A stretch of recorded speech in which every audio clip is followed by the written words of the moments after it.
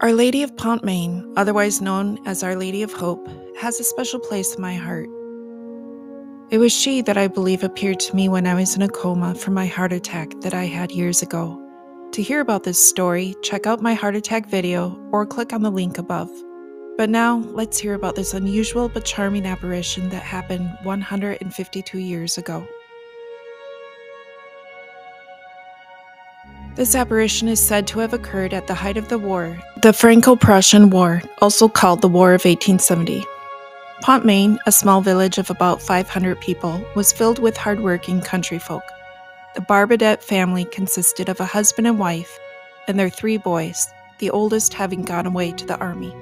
On the evening of January 17, 1871, the two boys were helping their father in the barn when Eugene, aged 12, walked over towards the door to look out.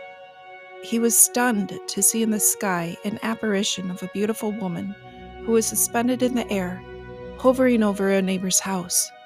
She smiled at him.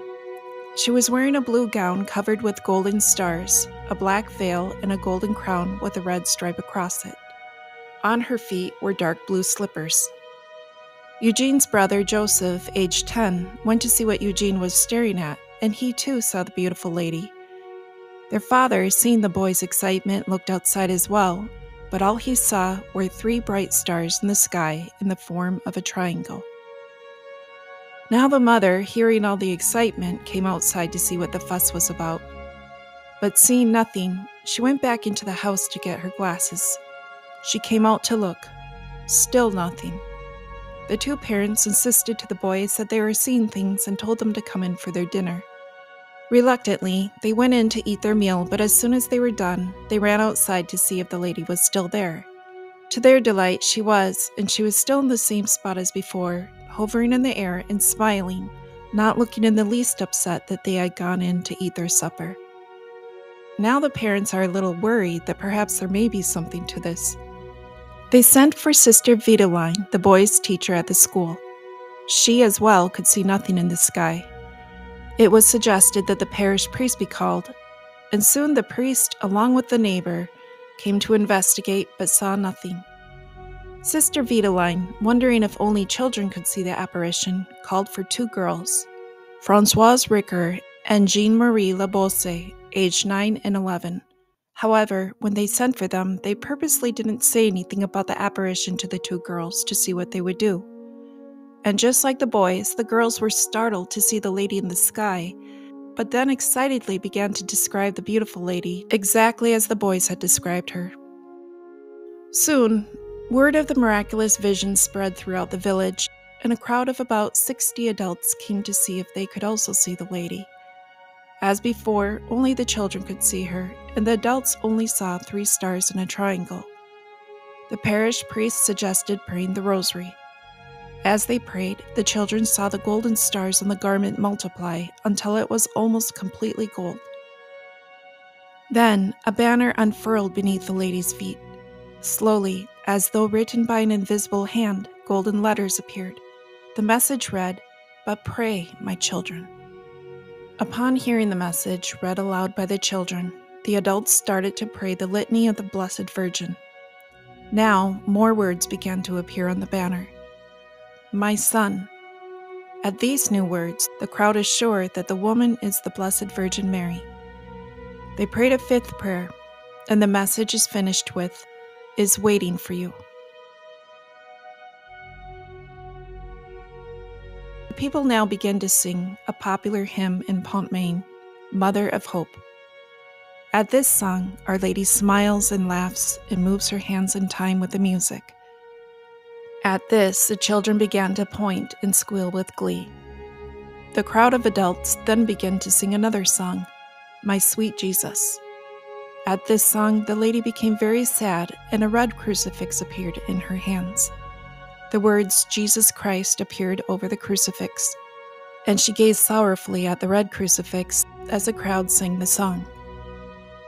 At the end of the song, they began a new one and sang Ave Maris Stella. At this, the crucifix disappeared, and the lady began to smile again, although with a hint of sadness remaining. Two small white crosses then appeared over her shoulders as though resting on them. Then, slowly, a white veil began to float upward, eventually covering the apparition completely, and Our Lady disappeared. The vision lasted for three hours. That same evening, Prussian forces abandoned their advance.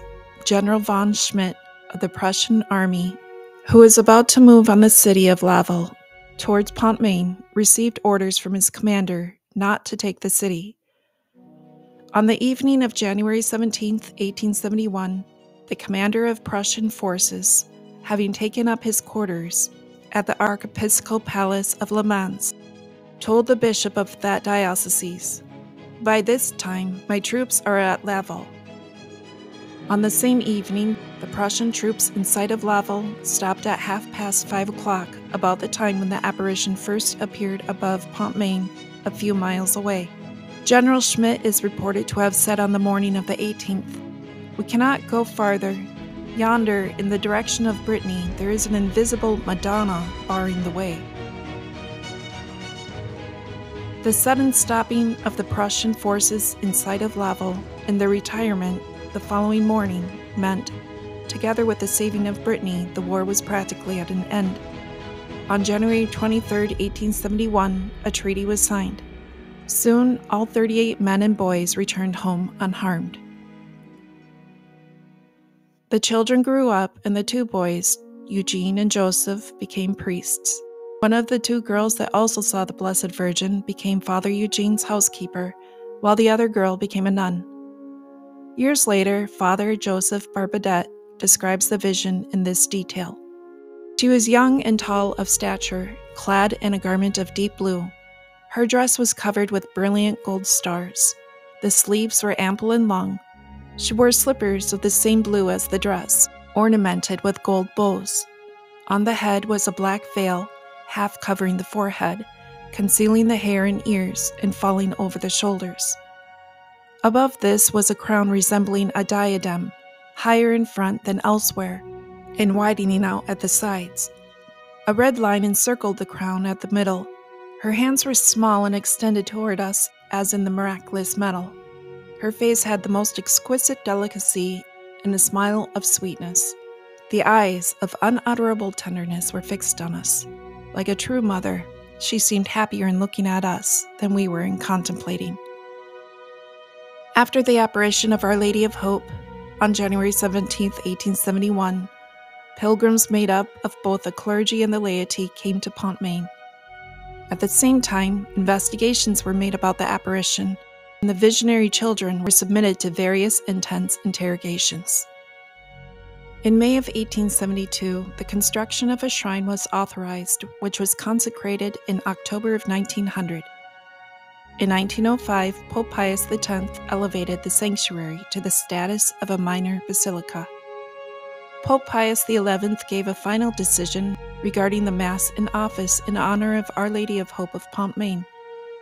A final papal honor was given to Our Lady of Hope on July 16, 1932, by Cardinal Pacelli, who later became Pope Pius XII, by passing a decree from the chapter of St. Peter's Basilica that the statue of the Blessed Lady, Mother of Hope, be solemnly honored.